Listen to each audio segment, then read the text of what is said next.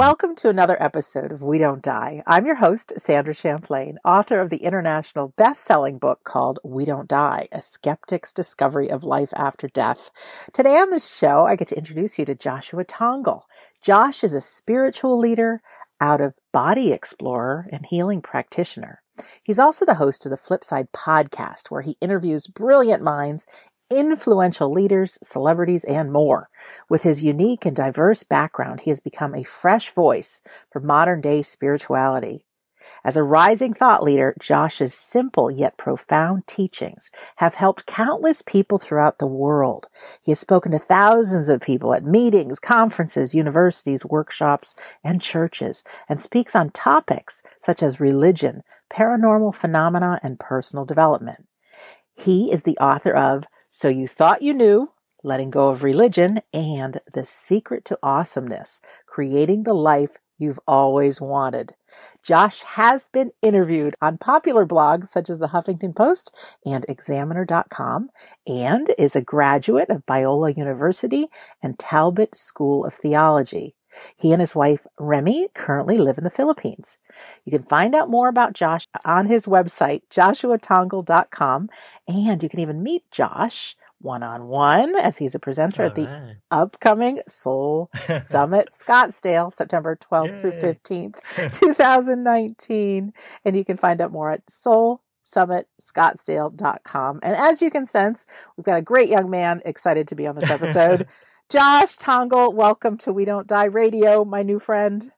Awesome. Thank, thanks, Sandra. It's good to be on the show. Really good to have you too. And I, I just knew that we'd hit it off, and uh, I'm getting that feeling this will be a great episode. Thank you for Same being here. here. Thank you. Thanks for having me. Yeah. So you're in the Philippines now, correct? Yeah, I'm currently we're currently in Manila, but I was born and raised in in Cali, in California, pretty much pretty ah. much my whole life. so, but this is our home for now. Oh, and how long have you been there? Uh, well, back and forth, but I started back here in 2009, so a couple of years. Yeah, yeah really. With my wife and I, so oh. it's nice. And how long have you been married? Uh, for eight years. Yeah, we just celebrated our anniversary back in March. So yeah, it's been it's been a nice journey, nice ride, and you know she's on the same page with me and all this stuff that I'm doing. So that's that's an awesome thing to have. That's so important. Absolutely. Yeah. Yeah. So how's your story start? I know I've read a lot about you on your internet and I don't think you were ever convinced in healing and miracles and all that. Yeah. But yeah, let's hear about you.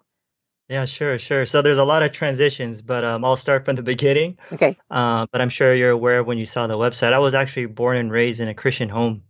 And as a lot of people are aware, there's there's not just like one type of Christianity, but there's a bunch of different types of Christianities. There's like 30 plus uh, denominations and different types of sects of Christians. And so I was part of the Christian camp that was known as the charismatic kind.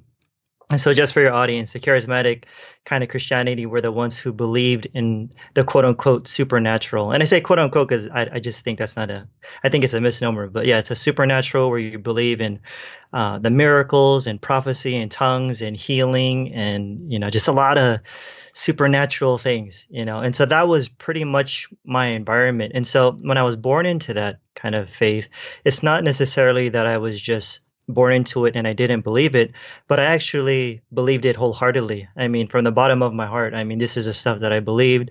I lived. I didn't just go through the rituals, but I actually believed it, you know, and pretty much it was interesting. Ever since I was a child, I've always been interested in like near death experiences because my mom would tell me stories as a little kid about people going to heaven. Wow, and I was yeah. always like so fascinated with that, you know, right. especially as a kid.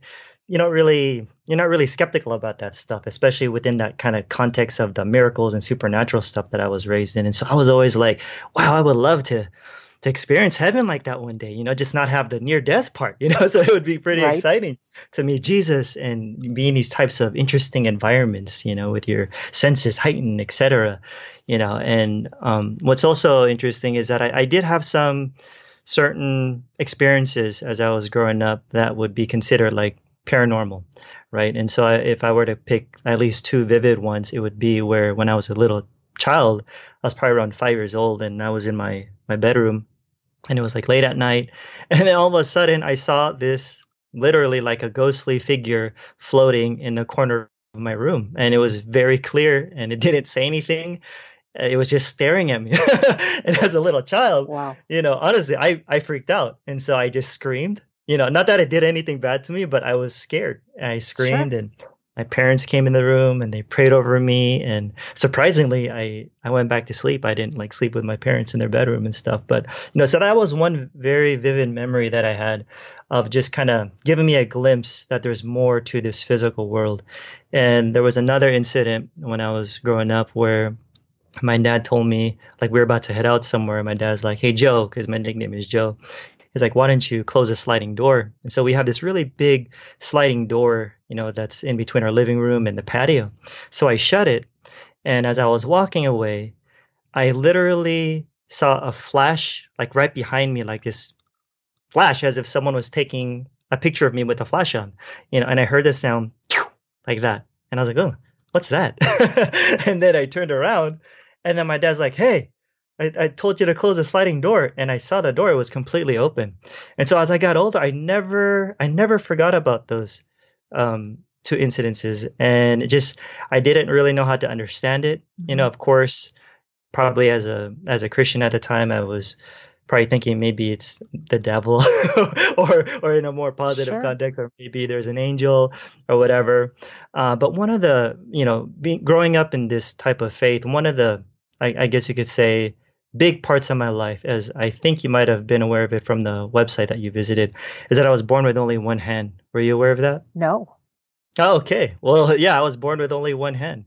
And so if you were to imagine growing up in a in a Christian home that believed in a God that was a God of miracles, right? So like as Christians we would talk about God is the same yesterday, today and forever, which means God can do anything. You know, Right. he could part the seas and etc., raise the dead.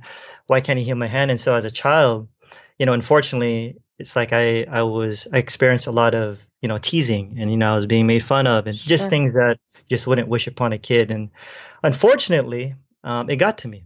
And so you know I became very insecure and very self conscious growing up. And um, so because of that, I because of my faith that I was raised in, I I would always ask God and pray for two hands. You know, so I'd always like go to bed at night, sometimes crying and asking God, you know, hopefully I'll wake up tomorrow with two hands and nothing would happen. Right. And so I started going from, you know, miracle crusade. We, we had these things called miracle crusades. These are like these really big events, thousands of people where people would see famous, what we would call faith healers. Mhm. And so I would go to these different ones with these very big names, at least at that time, and once again seek out for healing, but then nothing obviously happened. But the major turning point in my life, Sandra, was when I was 17 years old. And I found out that there was this really famous faith healer at the time, probably the most famous one, yeah, at the time. And I told all my friends, my closest friends at school, and some of them from church, I'm just like, you know what? I'm going to go to this event and I'm going to come back with two hands.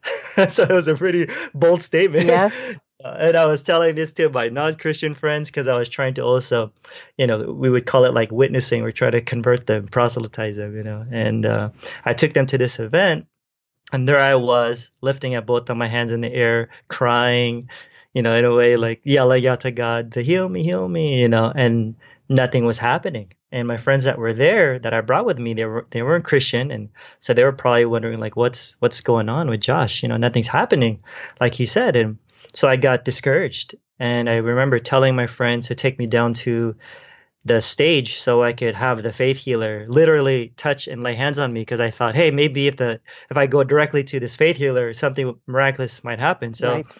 I tried doing that. I went downstairs, but it was so crowded, and the faith healer said, "Come back tomorrow." And I was like, "Ah," you know. So I went back the next day, and obviously nothing happened again. And so it's interesting because people would assume that I would I would have become bitter from that experience, but I actually wasn't. It was more of a discouragement, just like, oh, okay, I guess maybe God doesn't do these types of miracles today, you know, like making Mhm. full hands grow out or whatever. And so at that same time, when I was 17, I was introduced to something called apologetics. And I'm not sure how familiar you are with that term. No. Have you? Nope. Okay, so apologetics, just to define it for you and your audience, is that there's many different types of apologetics, but apologetics, the gist of it would be you're basically defending something.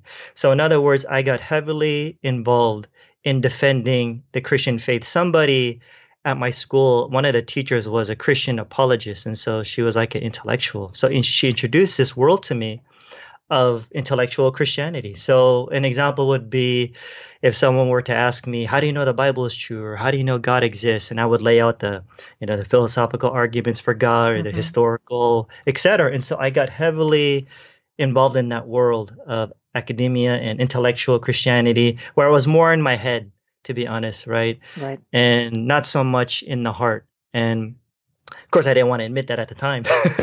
but yeah, I was just really to my books and learning all these things. And what's interesting about that is at the, the people that I was directly studying under who were Christian apologists, because it honestly changed my life, Sandra, studying apologetics, because I became more skeptical.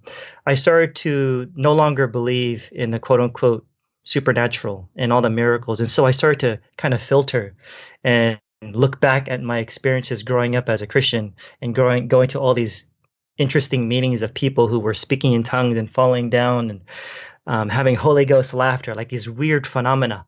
You know, I started to look back. I'm like, oh, maybe I was into like some really cultic stuff. I was like trying to reflect, and I started to have that kind of filter where I became extremely skeptical of actually all those things.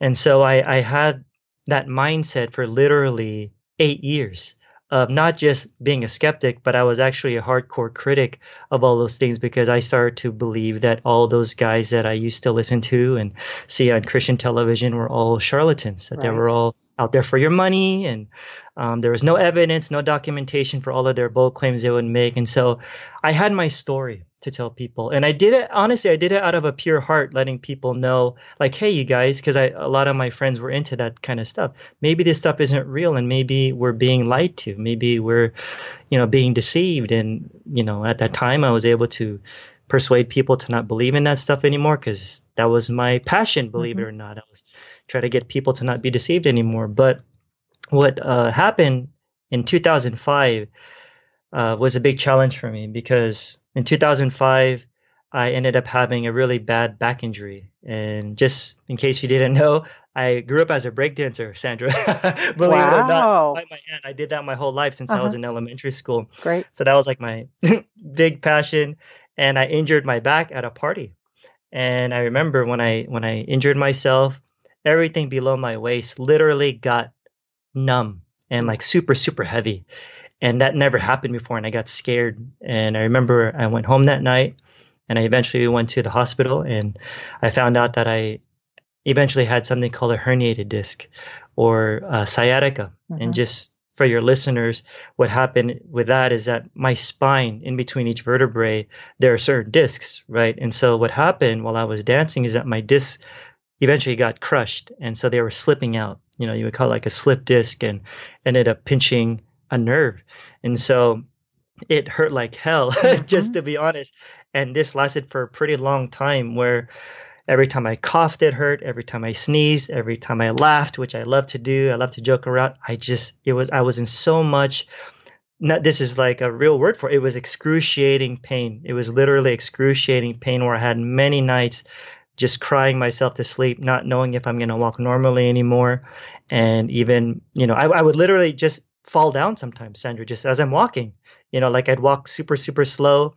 If I would lie down on the ground, um, I couldn't even get up. I would scream in pain because I just can't get up. And so he, there I was in my early 20s having that serious back injury. But things started to go for the worst because not too long after that, I eventually was at a friend's house and I started suffering attack an attack in my chest and it literally felt like a heart attack. And so the left side I started feeling this weird stuff on the left side of my body. And that night, I remember I thought I was going to die. No exaggeration. I really thought I was going to die. Wow. And I didn't have health insurance at the time. And I was mm-hmm. panicking and telling my parents to take me to the hospital. And it probably wasn't the smartest move, but I ended up just forcing myself to endure it until I fell asleep. I eventually went to the hospital and I found out that I was diagnosed with something called uh, GERD, which is gastroesophageal reflux disease. And so it's just a problem with my throat. And if I were to look back, Sandra, honestly, I've never had even like chest pains or heartburn at all. Like, not that I could ever remember, but at that night, for some reason, it was just this one extreme attack. And so that's why it was so out of the blue in a way for me. And when I got to the hospital, they told me I had a I had an extreme form of it, which was like scary to hear. And so from that day forward, I literally tasted acid in my mouth and vomit. I had chest pain, heartburn every day, pretty much with no exaggeration, 24 7. Like I, I, would have memories of someone giving me, like I would eat like a little lifesaver mm-hmm. and I would be screwed up the entire day, just a little tiny candy. And so you imagine in a person in his, in his early 20s already suffering from back problems. Right. And I can't even eat whatever I want to eat, just anything like ketchup, soda, nothing. and I'm Filipino. And so Filipino food is very oily, like none of that stuff I could eat. And so I had many nights where I would just cry, honestly, just asking God, why is this happening to me? Because I'm so young. And I'm also, um, serving at a church, you know, trying to do good in this world. And it, I just wasn't getting any better. And of course, as you know, I was a skeptic at that time. So I stopped going to faith healers. All that stuff was just BS to me, you know, until 2006. And so it was about a year later where what changed my life was when I met this man named William Beeson. And here's this guy talking to me and several other students about uh, what we would call a miracle that he had. And keep in mind that I'm extremely skeptical. I don't believe any miracle stories all those eight years. Right. Literally, I don't believe anything. So would, you would have to do a really good job in persuading me. And so I hear this guy who's very monotone, and they describe this man as like a modern day Job. And just in case people aren't aware who Job is, in the Bible, Job was a guy in the Old Testament that suffered really, really badly in the Old Testament. So people were calling this William Beeson guy like a modern day Job, where he's pretty known in the medical world. And basically, what happened in his back was that his the discs in his spine ruptured, and so that's pretty bad. Long story short, he had five surgeries five surgeries. You have one surgery, you're never the same. He had five. In fact, he had to get two more. So it was a total of seven. And every time he had a surgery, it just wasn't get it just wasn't improving. And so he was showing us medical records from UCLA, from Germany, and I'm like, whoa, that's really very interesting because you know he's bringing in the documentation as evidence. And um, this guy's talking to me and he's completely normal and healthy but he was showing us pictures telling us his story about how he was bedridden 22 hours a day. So he was this really big guy but after having this injury he became super super skinny and mm-hmm. depressed and was in a wheelchair. He would pass out you know after just a couple minutes of leaving him alone. Like it was that bad. Like that's why they would call him a modern day Job and then he talks about one day where he goes to a place for like a healing service. And he only did that for the sake of his family, for his wife, because he didn't really believe in that stuff. He had no expectations. He just wanted to die. So he goes to this church for healing. Nothing happens that he's aware of, you know, at least in, in the sense of healing. He goes back home and he starts writing everything in his journal because that's just, just what he did. He always documented everything he feels a strong wind come into his room. And all of a sudden, he's out of his body. And he ended up in what he would describe as heaven. And there's this being that he would describe as Jesus. And remember, this Willie Beeson guy is not a religious type of guy. And this Jesus figure told him, says, You are going to be 100% healed, restored to your youth he has this interesting experience, you know, with different beings and streets of tra- translucent gold, etc. He comes back to his body and he is 100% healed. And there's a lot more that I could share because I'm, I'm pretty good friends with them, but I'm trying to condense the story. And for some reason, Sandra, when I heard him, you know, after eight years of being a skeptic and going through so much pain physically and emotionally, I started to believe him. Mm-hmm. Like I was open all of a sudden. I don't know, it's just because of my desperation but it was also because of the evidence that he brought in. You know, he even has like a really close friend who's an atheist who can testify that his miracle is real. Like the guy is still an atheist. He's like, yeah, I'm still an atheist, but my friend Willie was like this one day, and the next day he's healed. Mm-hmm. so it's like, you know, even his atheist friend was able to verify that something happened. And so when I introduced myself to Willie, um, we became good friends, and I told him about my back only. And what happened was, you know, we, we exchanged information and he gave me the link to the website where he received healing prayer. And I went to the website and it was like a very typical Christian healing church, and I was already turned off. you could just imagine me like rolling my eyes. Like, oh no, yes, yeah, like I've been through this before. You know, these faith healer guys, and I was started to read the testimonies, and the testimonies were like backs getting healed. I'm like, eh, I've heard that before. It's probably just psychosomatic or whatever. Then headaches. I'm like, eh, you know. And then I started to see testimonies of people getting healed of cancer. I'm like, huh, you know, if that's real, that that is a big deal. If mm-hmm. this is real you know. And then I heard a, saw a testimony of someone where it said that their arm grew out, and I'm like, what? an arm grew out? Like, what does that mean? Does that mean like they were missing a whole arm or a little an arm? Mm-hmm. And I got extremely, extremely, extremely confused. It was a very emotional moment. I remember vividly, and I remember right after I saw that, I went to the prayer chapel because this was at my university, and I started crying because for the first time in eight years, Sandra, my desire to be healed came back because I was wondering, is this real? Because I don't want to go to another healing service and get let down again like I did when I was 17, right. you know? And so, long story short, I ended up revisiting the topic of healing again. And I had this renewed interest where I started to check out some other people who were into healing that weren't the so-called like religious fanatics that I that I believe who were mm-hmm. like religious fanatics who are very anti-intellectual, etc., etc. But I started to find out about these other groups of people who were very intellectual, who were reasonable, and in fact, some of them were even former skeptics who be, who became believers in what they would call the supernatural, but as I would say today, more of the paranormal phenomena, right? And so I started to immerse myself heavily in that world again with a completely different grid, different lens, you know, glasses. And eventually I started to do healing upon other people. And for the first time, Sandra, I started to see results for the first time, like they were immediate of people who were getting, you know, their pains were getting healed. They were able to remove their casts like pretty quickly. And, and what's even better was that my back and my GERDs is completely healed. so th- honestly, it's like completely healed, Sandra, where I, wow. I know for sure my body is not even normal now because back in the day when I used to just cry carrying a laptop, you know, I carry a laptop like every day now when I'm walking here in the Philippines and I still even lift weights and mm-hmm. even with my GERDs disappearing literally overnight, Sandra, where I was on medication. I took eight pills a day. I remember during that period where I was always super sleepy because of the side effects, but I quit it cold turkey. And if you were to see the way that I eat now, I eat whenever I want and whatever I want, like no joke. And that's like something that I know for sure something is not normal because I know I look young, but I'm actually 38, which is still young.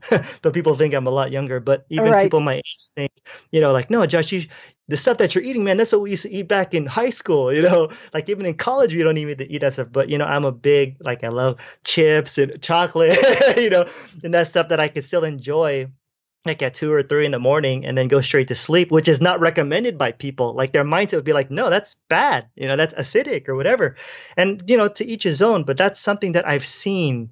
My body has been completely healed of that, Sandra. That's why I would always get so emotional, like just thinking about it. Right. And so as I started to delve more into healing, I started opening myself up to what we would call the paranormal world, paranormal phenomena, where I started getting these uh, premonitions and these dreams that started leading me out of even the ministry that w- that I was a part of because the church ministry that I was serving with at the time, they weren't open to this stuff because my church at the time was very conservative. You know, since I was a skeptic for years, I joined a very conservative mm-hmm. church who was not into stuff. So they weren't too happy about my shift. And I just knew I couldn't deny uh, what I was experiencing because it changed my life. And so I eventually left and I just started to speak at other places and sharing my story. And I started noticing that I started to have these weird experiences of just knowing things about people. So if I were to share like a story, one of the first ones would be I was in a place called Orange County called the Block. It's like an outdoor mall. And I was just chilling. I was hanging out at a bookstore and uh, I remember just randomly, boom, I heard a thought said, ask her about her dad. I'm like, what? Like, that's so weird. I would never ask a random stranger about her, their dad. you know, so it made me feel very uncomfortable. I'm like, I literally heard that. It's weird. And so I just asked the girl and she just broke down and she opened up and it was something very personal, to be honest. Like, it was a little bit like, whoa, Um, and you know there was like some sort of abuse going on, and I said, "Wow!" And then my friend and I were able to encourage her, and you know spent some time with her. And then not too long after that, I was like, "Wow, what's going on?" I went to the library at school. We were using I was using the computer, and then a girl about uh, two seats over next to me around there um, i just saw her all of a sudden get emotional as she's on the lap on her on the desktop i was like huh what's going on let me try to listen if there's anything i could share to her then a name popped up so i looked at her i said excuse me does this name mean anything to you and she's like oh my gosh that's the person that i'm contact- contacting about so i was like oh my gosh what's going on like i'm hearing voices right you know and uh, so i started to really really delve into that a lot. yeah, what's happening? right. Yeah, yeah, I'm like, I mean, it's it's it's pretty amazing. It, but it's like my my conservative Christian grid didn't know how to make sense of it. Like my my friends didn't understand it. There, in fact, a lot of them were very upset because a lot of my Christian friends were like, Josh, you told us not to believe in this stuff back in the day. Now you're doing it, you know. And I'm like, I know. I mean, I'm surprised. That's you know, why you're the perfect messenger, right? Because yeah, yeah. you've so been on both. It, it kind of ends. backfired, but sure. if, you, look at it another way, they could say, no, no, no, maybe that's. And so in that sense, yeah, you're right. That's why my family started to believe me. Like I remember my sister's like, Joe, Joe, I remember you. You were so against this, but now that you're into it, I believe you.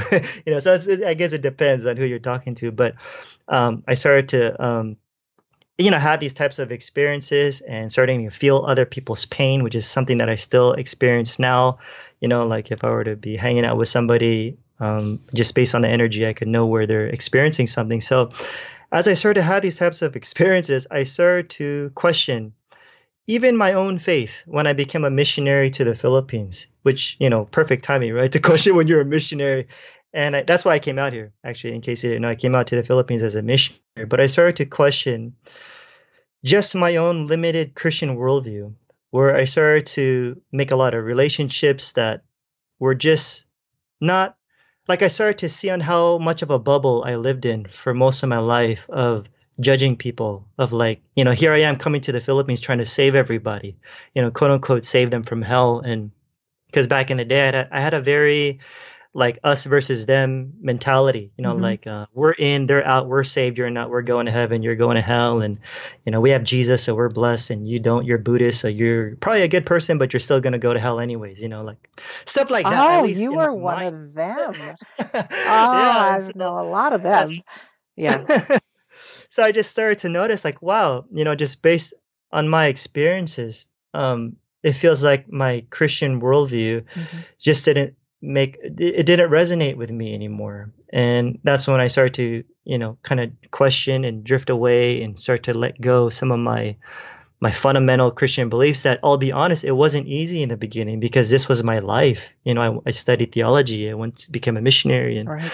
i was a pastor for several years and so it was something that i really had to look within myself and say am i willing to to do this and to transition and my wife and I we we did. We eventually did at the price of you know losing a lot of friends, mm-hmm. a lot of people talking negative things, and you know, and I don't. I'm not mad to be honest. I'm just more of like I I think they just don't understand, right. but I understand where they're coming from. Sure. You know, so that's why I'm not angry. But I started transitioning, and I started to notice that God, the universe, is just so much bigger than than my religion that I was raised in and sharing to people. And I started to explore other healing modalities because that was another eye opener for me. Because back in the day as a Christian, I always did it the Christian way. So if you're not familiar with it, it's like you're always doing it healing in, in Jesus' name, be healed or demon get out. Right. you know, that was like the Christian version. And at that time, back in the day, I was always like condemning other non-Christian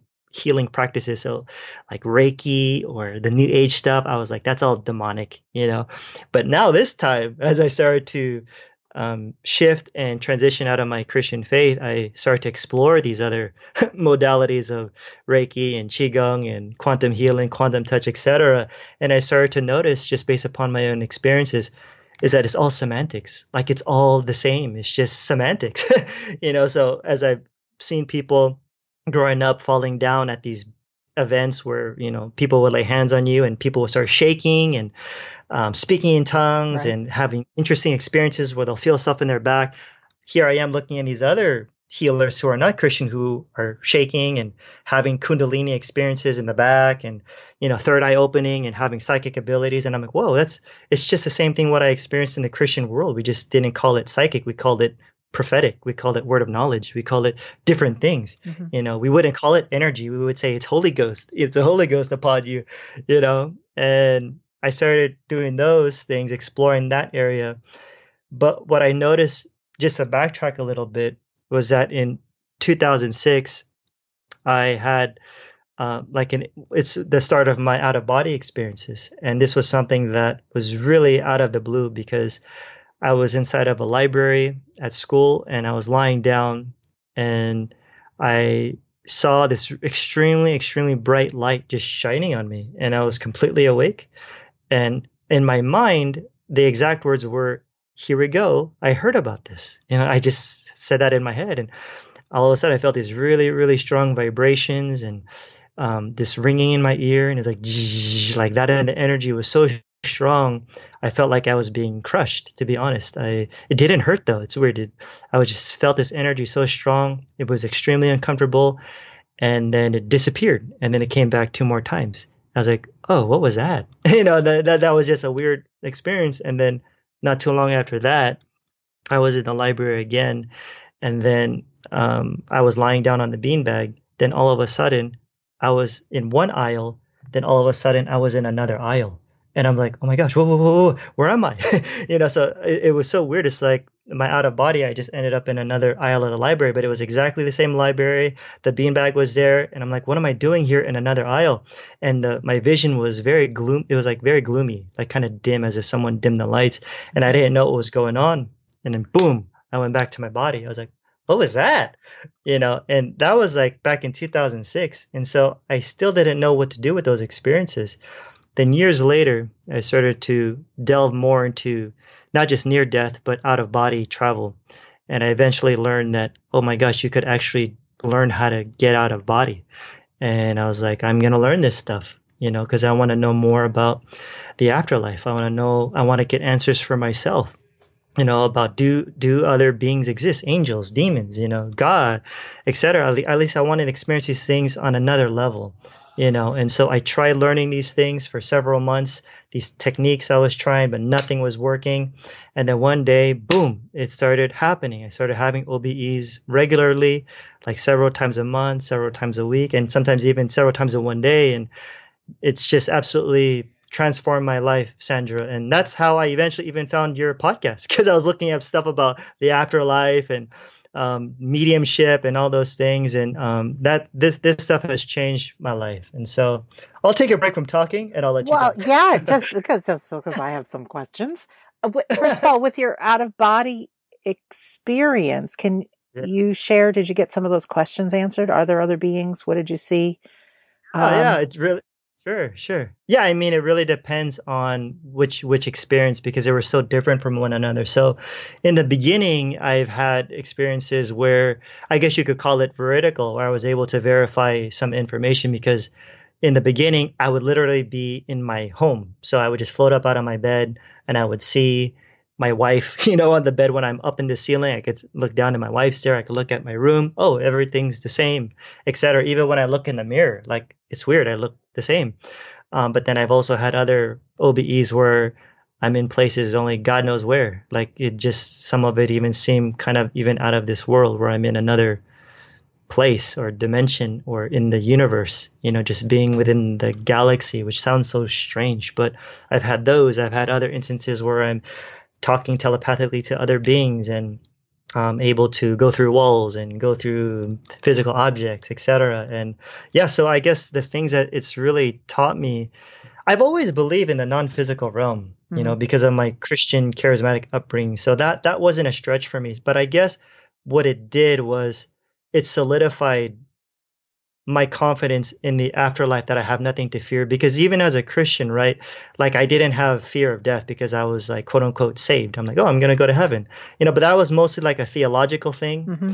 you know. It was something in that I believed in my heart. But now on an experiential level, I'm able to see some of these realities and places and quote unquote what if you want to call it a dimension or another plane of reality like oh my gosh there's there's these other beings here. You know there's these other places that i've never heard before. It's not just you know like a three tiered reality of like heaven earth and hell you know or purgatory or whatever. But there's like i've been to all these different places that i'll be honest many places i don't even understand to be honest and i don't have the the language for it mm-hmm. sometimes. And but yeah it's it's taught me a lot about myself. It's it's taught me a lot about just the connectedness with with other beings you know just being able to communicate and feel the love. And i'd come back to my body just feeling overwhelmed with love and i would just cry. I'm like what the hell was that?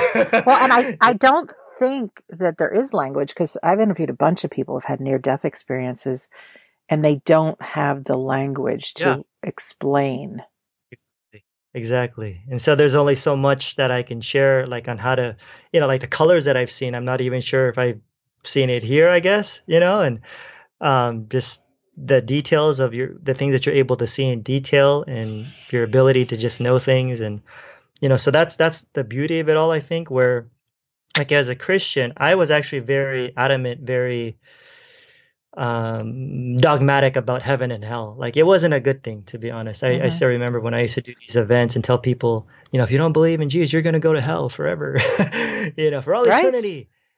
And and I look back, I'm like, oh my gosh, what was I? I mean, honestly, I did preach from my heart because that's, but that's all that I knew. That's what you knew at the yes. time. That's what I knew, and so that's why I would grace myself in that area. But when I look back, when I think of it now, if I were to sit in a service and I would to see a young guy preaching about heaven and hell and saying that you know your loved one who's not saved no matter how good they are they were are in hell for not just a hundred years or a thousand years or a million they're there for all eternity. That's pretty you know, heavy. heavy stuff you know uh, yeah. where I'm, I, I would now i would look i would question them and be like you know so so they know this stuff? How? You know because they studied the greek and the hebrew you know because they went to seminary. Right. But yet these people didn't have any ex- firsthand experiential knowledge. You know, now if this preacher had, you know, some near near death experience, granted, we can talk about that. But that's where I started to move beyond just the the theoretical part and the theology, and I wanted to find out the answers for myself. And so that's been very transformative for me. Mm, question: The out of body experiences, how vivid and clear are they, and how much do you remember them after? Oh, I remember a lot of them very clearly after. Some of them, of course, I've had to write them down, just like with any memories that you have, mm-hmm. even very mm-hmm. powerful memories. But yeah, there, there. Some of them are extremely vivid. Some of them were very uh, not so clear in the beginning, and that's where I've had to learn different techniques. In fact, I was messaging someone who. Um, I was giving someone tips earlier online about what to do when your vision is not clear because sometimes we're like adapting, we're shifting to the frequency, you know, and it's not as clear. And so um, in those moments, that's where I had to do certain techniques and stuff like I've learned from William Buhlman, where you have to say like clarity now, awareness now, and then all of a sudden, boom, just everything's like super clear.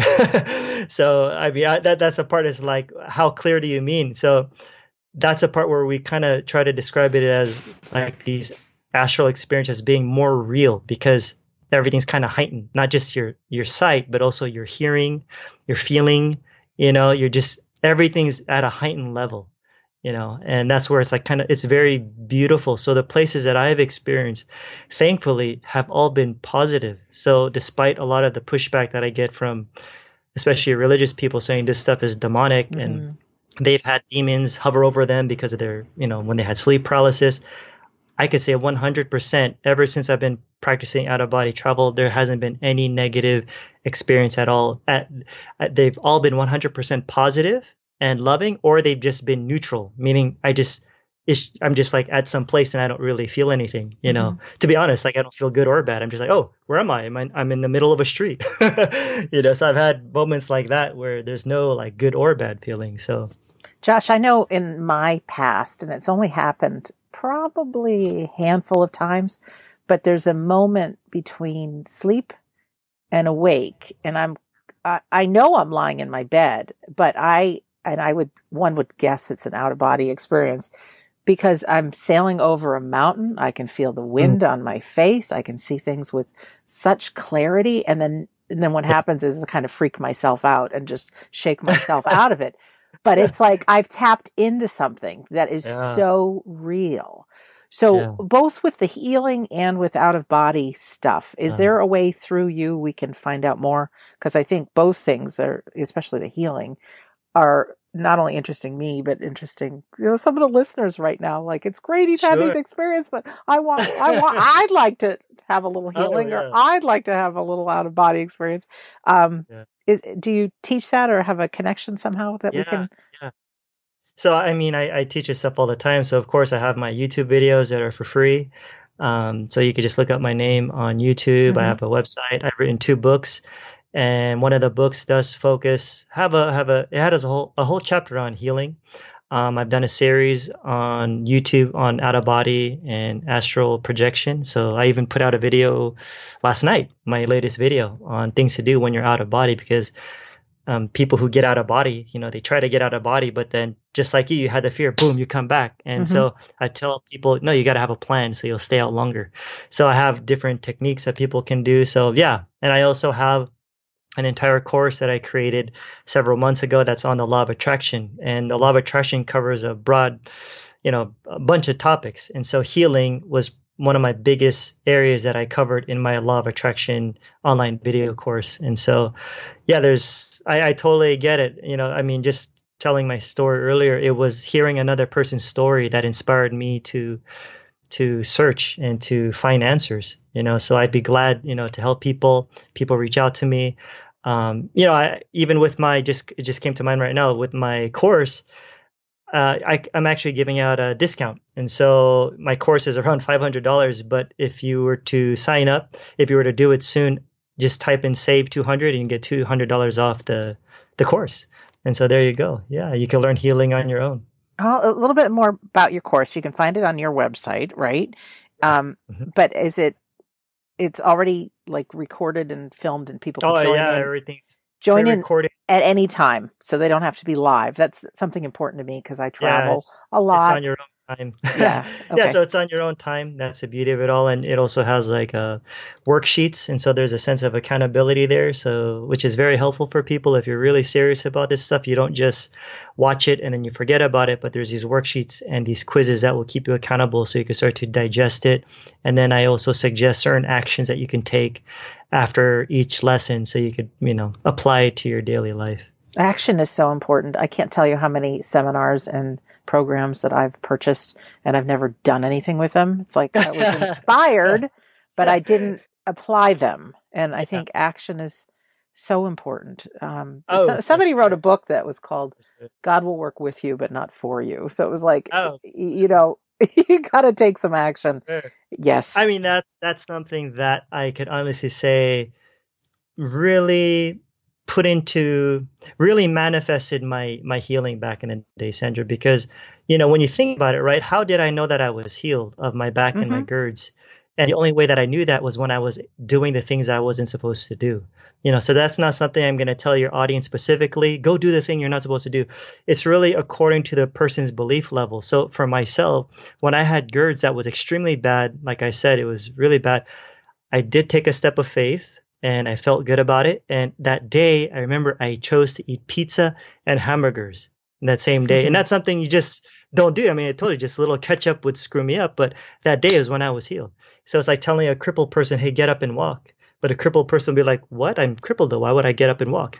Get up and walk. And that's where the faith starts to kind of manifest and take action because you're not just saying it, but you're actually feeling it and you're also living it out. You know what I'm saying? I do. Now, how about your hand? Have you come Yeah. to believe? Not yet. no, I don't mean that's- that, but just uh, so What's? I've What's that? I've well I've had some things in my life that have happened, and it's not Yeah. till years ahead that I realized like they had to be for where Yeah. I am now. So Yeah, for sure. you know, so very well could be with your hand. Even when my dad was dying, I tried every kind of miracle healing, everything I could research and do, and mm. he still died. But now here we are, uh, nine years, actually nine years and a couple days in the mm. future. And I would not be talking to you, wouldn't have this show, wouldn't have written the book, wouldn't have done live Yeah. conferences, wouldn't have helped um, so many people through grief had it mm. happened just the way it did, had it not happened just Yeah. the way it did. So, somehow. I totally, yeah, I feel you with that because I, I just know, yeah, it is. It's like it's a gift. I mean, it was something like I said. I it was so painful for me as a child, just mm-hmm. being like I felt different. But sure.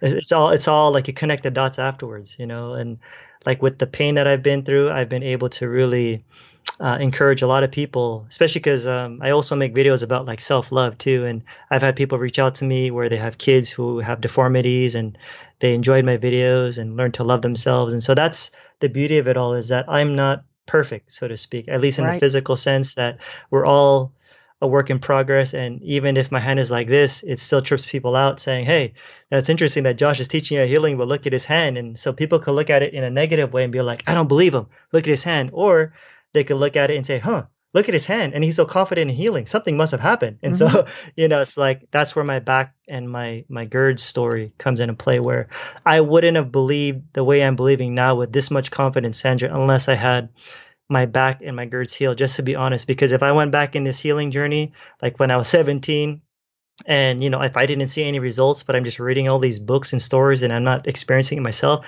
I, I, it would be pretty hard for me to start teaching this stuff based on theory you know? So i know that um, my own healing has been a tremendous uh, thing for me to to be confident with what i'm teaching now. Yeah yeah i don't know why i'm sharing this right this second but have you followed any of my posts about sonia rinaldi the researcher in Brazil. I've seen a little bit here and there, yeah. Yeah, for the last over 30 years, she's been just quietly and freely working with parents and recording voices of their deceased children. Right, right. So that that right. I always heard about her and I thought god that's just amazing.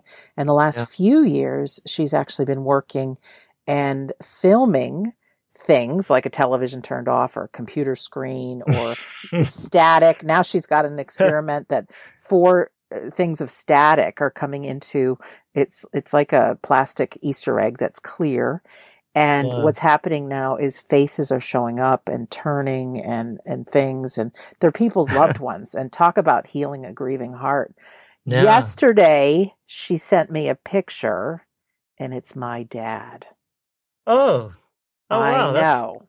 wild. it is beyond wild. It is beyond oh. wild and That's it's and it's like nice.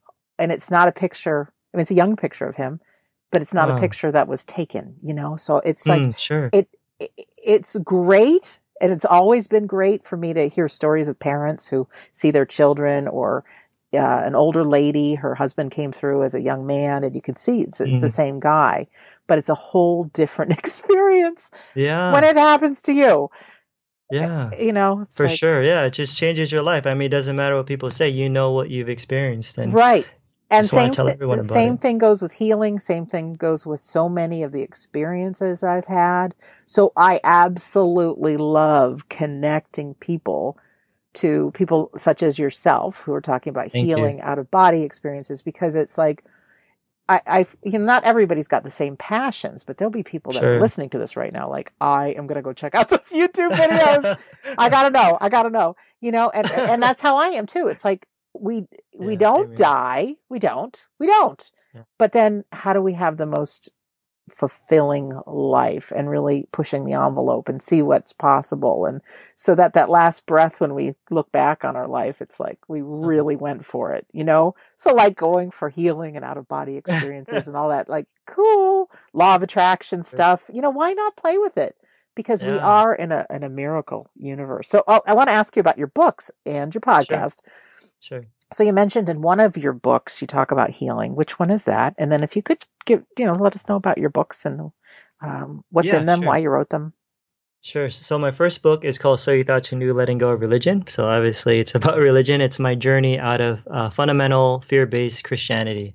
And so I share my whole journey on that and I talk and I cover pretty much the the big topics within the Christian faith like hell, God, the Bible, the devil, and I share my own take on it. And then on the second book, it's more of a fun, like a fun, lighthearted book about self love, but it's also a book on metaphysics at the same time, um, where I talk about healing. I talk about prosperity. I talk about following your dreams and loving yourself. So it's that that's the book where I talk a lot about my hand and I share stories in there that have absolutely just changed my life where I overcame my biggest fear. And of course I don't want to spoil it, so I guess you have to check out the book.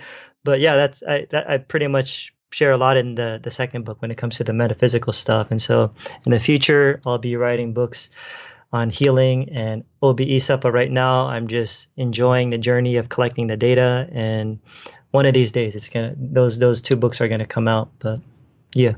I'm very proud of you, and I really love Oh, the name, "The Secret to Awesomeness." It's like, it's just Yeah. fun and lighthearted. yeah, but it's it's great. And then the flip side podcast. Talk about that.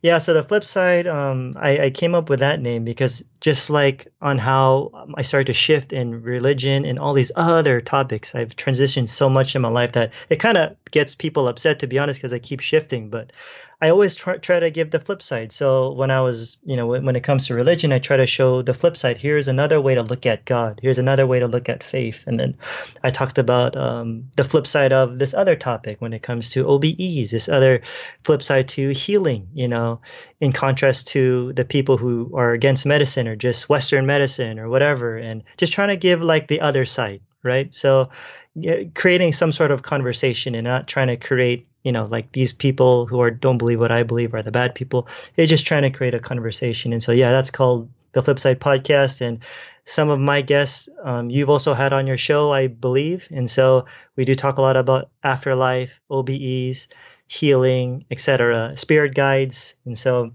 um, and that's how I eventually found some of my guests too. I think is when I saw some of your guests, I was like, I gotta have them on my show too. Isn't that fun? So it's I'll, been it's been fun. Yeah, just connecting. I'll stalk your show a little and see.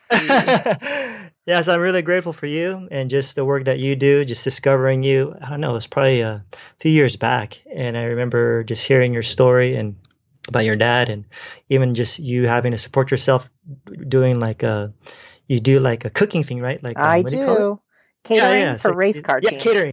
Yeah, Yep, so you still know, do.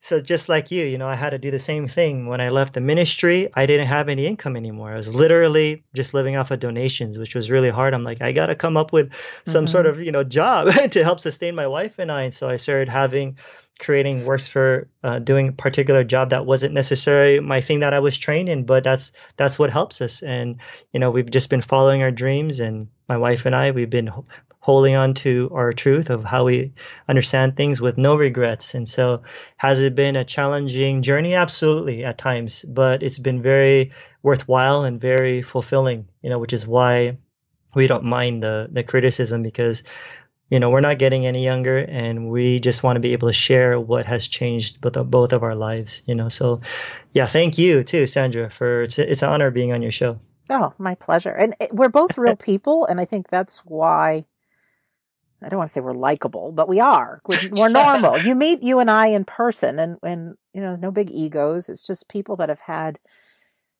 tough times, extraordinary life, and that's why I think we are the perfect messenger. Yeah. yeah So- and i sense love through your podcast because you, you do seem very relational when i hear you talk about your events and you can't wait to meet so and so in person and give them a hug i was like, oh sandra seems so nice Ah, I, I So over like- I did a conference. I, have done a couple so far, and there'll be more to come. Um, but I, I overheard somebody say, "Oh my God, she's just as real as she sounds like on the show." I'm like, "Yes, feels like can only be me," and and that's inspiring. But for you and our listener, I mean, there's a whole world and universe to be explored. I mean, you bring in out of body experiences; it's like a whole nother level. But it's exciting. This is the good stuff in life. I mean, life can be so so difficult, um, but Yeah. there can also be so many rewards. And I, my dad would always say, without risk, there's no reward. And it's Yeah. like pushing the envelope. It's going outside of our comfort zone Mm. and Exactly. and taking action on new things. And if you can have a a leader or somebody you're learning from, whether it's listening to your show or watching a YouTube video or, you know, joining in on your law of attraction course. I mean, that's, that's good. And I want to ask Yeah. you too, you're going Sure. to be one of the speakers at the Soul Summit, Scottsdale coming up. And yeah I was meant to be, but I can't be there, so I'm a little bit Oh. heartbroken. but it's our same friends that put on the uh, Afterlife Symposium for the past years, and um, Kathleen Malone and Suzanne Wilson and Right. bunches. But it's Yeah. it's not just afterlife. It's I, what I think it's living life, and I think that's Yeah. maybe why um, you've been asked because, like I, Yeah. I say, you know, it's great to get all this information about the afterlife, but then what? So what are you going to Yeah. be talking about there and what's your what's your hope for there? I mean, I'm certainly similar to what we have on the show, but Sure. um yeah, what's your passion? Yeah, cool. I, I'd love to uh, to promote the event. So yeah, it's it's Soul Summit Scottsdale in Arizona, and it's going to be on September 12th through 15. And Kathleen Malone, I'm sure you know who she is. She's Mhm. just awesome, and she's been connecting with me. And her and Suzanne, they invited me to be part of it. So I'll be speaking on um, belief, the power of belief, and believing the impossible. And so a lot of what I'm going to be, what I shared here in the interview, but I, I really want to help raise their vibration because I know there's a lot of people there with certain desires, whether it's healing, reaching people on the quote unquote other side, learning out of body travel, you know, and there are times where we get discouraged. So I want to be able to help people up their game, so to speak, when it comes to belief, not to give up, you know, because just my own healing process has been a challenge. You know, that whole thing, I could have given up when I was in so much Mhm. pain, but I want to be able to kind of help raise that vibration, and which is what the event is actually all about. It's about learning the art of high vibration, you know. And so we have some amazing people that are going to be there: spiritual teachers, psychic and evidential mediums, healers. I mean, we have George Noory, Suzanne Wilson, Suzanne Giesemann, Craig Hogan, and a bunch of other people. Um, I'm also going to not just be speaking there. I'll be on the panel with George Noory and several others, and I'll also be doing um, healing session healing sessions. So if you'd like to uh, meet me there, and maybe you could allow me to do some of that stuff on you, in case you might need some help. So there you go. I love it. And you can find out more at soulsummitscottsdale.org. Yeah. So we've got a few minutes left. You want to uh, reach into that intuitive mind of yours and just leave us with Sure. a little wisdom or inspiration or a little tool we can use or just whatever Yeah. comes to mind. Sure, sure. So what comes to mind right now is, as we were talking was, I just want to encourage your listeners to follow their truth. And so I know getting into this area of the afterlife and spirit and all these things, you know, we, we can face a lot of challenges and people looking at us as like we're crazy or we're we're losing our minds or you know, but but really follow your heart, you know, because you as a listener know what's on your heart, what you want to see, what you want to experience, and I would encourage you to pursue that with everything that you have, with with you know, being fulfilled in this life, you know, because if we if we have this life to live, and you want to be able to do what you really love to do, just like me, I'm doing healing now. This is my dream, doing healing and um, teaching people, and I know that I, I could have gone the other route where I continue to stay in my ministry at the time, just trying to please other people. But I knew that I had to be true to myself. So if I were just encourage your listeners, be true to yourself, you'll be very fulfilled. You know, so you might you might lose some friends, but the beauty the beauty of it all is that you're going to meet new friends. And just like how Sandra and I are connecting here, you, you will attract your quote unquote tribe because there are people just like you who have similar experiences and similar feelings of feeling alone and you're not. So, you know, it's just a matter of time and there's a good time for things to happen and, you know, spirit is always going to guide you. So always follow your heart and listen to your intuition. Oh, those are great words of advice. And you're right about the mm. tribe. I, you know, I've Yeah. gone through some changes and friendship and family, Sure. but the tribe Yeah. is all of a sudden arising. And I'm like, I love these people. Awesome. and it's really it's really nice and there's a bunch of us that are one on one you know just one person thinking you know who are we and where am i going to find my tribe and and we're out there we might just be connected through a Mhm. radio show now but there will be so Mhm. much more josh can people consult you one on one yeah, I also Okay. do coaching. So Okay. you could see all that stuff on my website. Okay. So, joshuatongol.com there you go.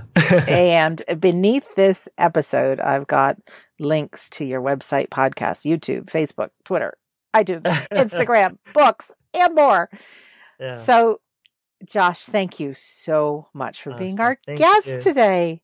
Thank you. Thank you. My pleasure. My pleasure. Thank you, Sandra. Really great. And for our listener, thank you so much for uh, spending the time with Josh and I.